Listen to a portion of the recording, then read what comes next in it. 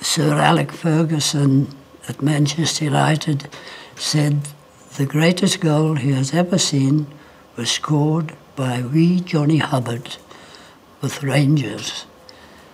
Uh, at the time of the game, I, he was 11 years old.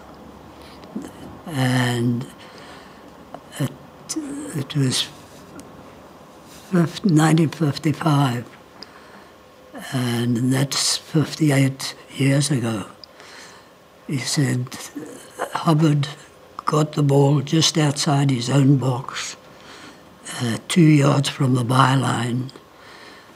Bobby Collins had taken a corner kick. John Little headed it to Hubbard. Hubbard beat Haughney.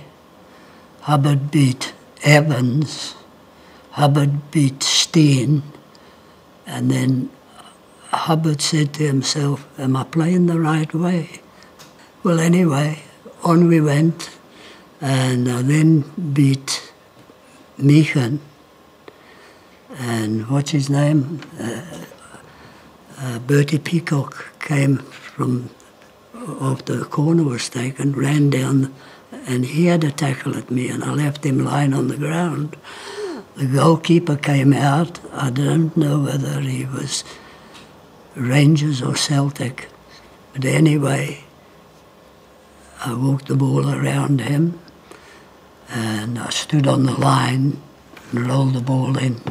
And I've only got one photograph, and it, uh, there was nothing uh, recorded.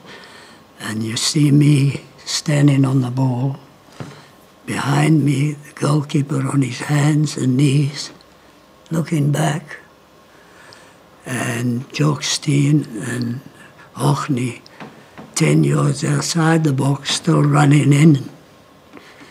So I think Fergie honestly thinks it's the greatest goal he's ever seen.